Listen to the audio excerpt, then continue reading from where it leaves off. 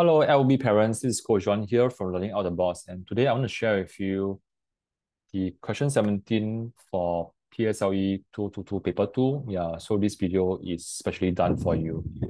Okay, so what we have here is a question and then uh, let's go back.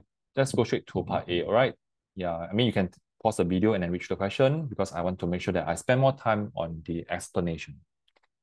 How many small cakes did Mrs. Li bake? Okay, so uh, very much we want to slow down because a lot of times when kids see a question, in my opinion, he will he or she will jump in. Yeah. So let's see how do we actually process the question. Right. So part A, they are asking how many small cakes did Mrs. Li bake? Okay, so right now what we will do is to, to streamline into the question and looking through all the words with small cakes because we want to get the inf information out. Yeah, so this is what it is. Okay. And then um yeah, so part A is pretty straightforward. And for children who are more visual, what I will do is you can actually draw five units and three units, and then you find the value of the three units. Okay, so for primary six standard, what we'll do is to use ratio and 40 means total. Okay, so from sentence one only, you can solve part A already. So 8u is equals to 40, and then find the North Star, which is the value of 1u. Why North Star is because, again, for most problem sums, we need to find the value of 1u. So in LOB, we we actually um, teach children to always navigate through the North Star which is what finding 1u, all right? Then 40 divided by 8, which is 5. And then we have to find 3u, okay, which is 3 times 5, which is 15, all right? Okay, so that's it for part A. Yeah, so you can see that even though the question looks very chunky, many lines, many words, but if you narrow down and read carefully, you can see that for part A, you just need you just need sentence one, and that's all. All right, so what about B? Okay, so for B, how many cherries did Mrs. Li use for all the small cakes? Okay, so the keyword here is all the small cakes, and then let's look at what else we have.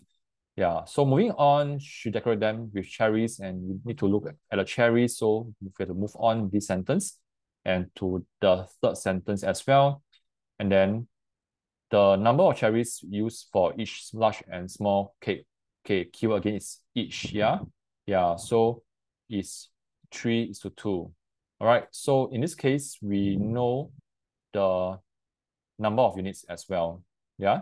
Okay, so, and then we'll move on, which is, we know a total of 204 cherries for all the small cakes and semi large cakes. Okay, so what we'll do now is first we have to identify the concept which is called number of units times value, and we're going to write down here in a standard box.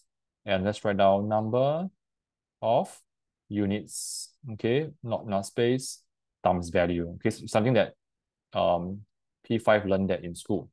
Yeah, so if your child is not sure what it is, please go back to the curriculum. All right.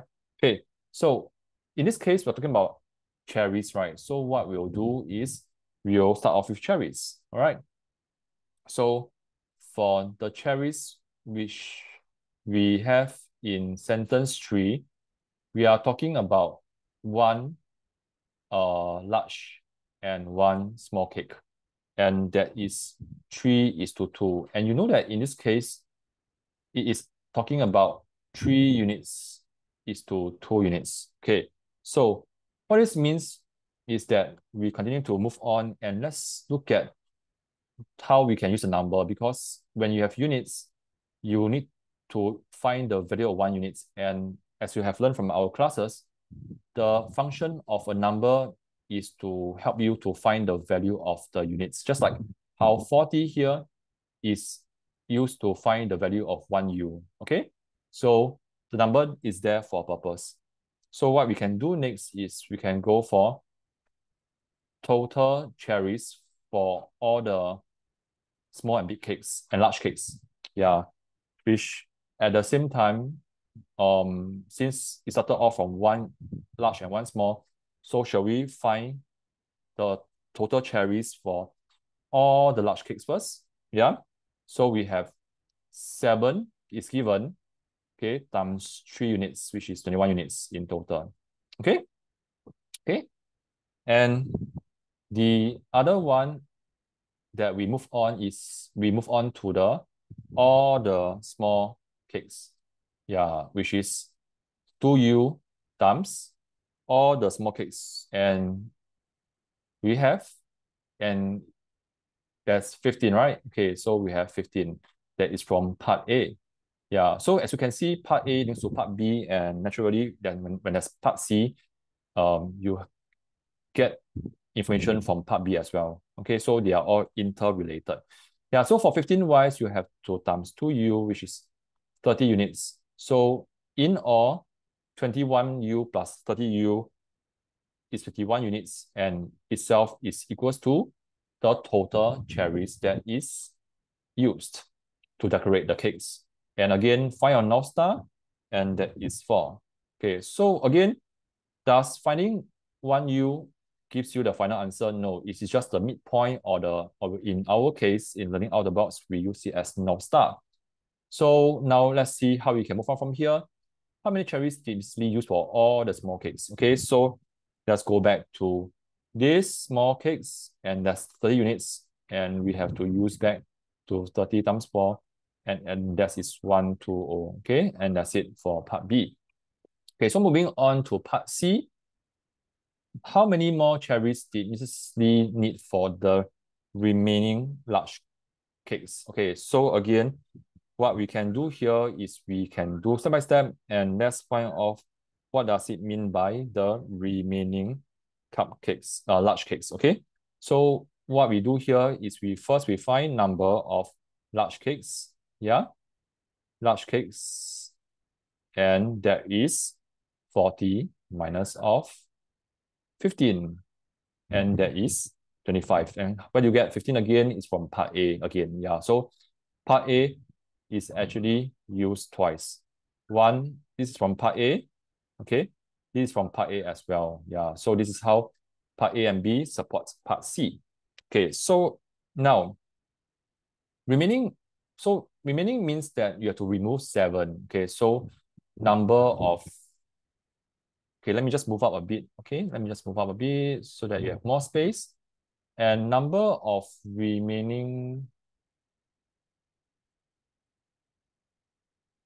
large cakes.